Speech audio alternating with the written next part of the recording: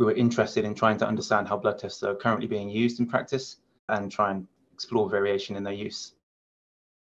What we found there's a substantial minority of patients who are subsequently diagnosed with cancer who have common blood tests, about two fifths of them.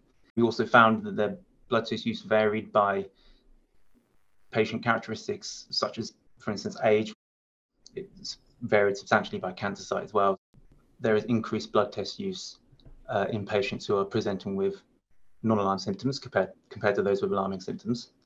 But we also found that around half of patients who present with non-alarm symptoms have common blood tests, and around a quarter of those presenting with alarm symptoms have common blood tests before diagnosis.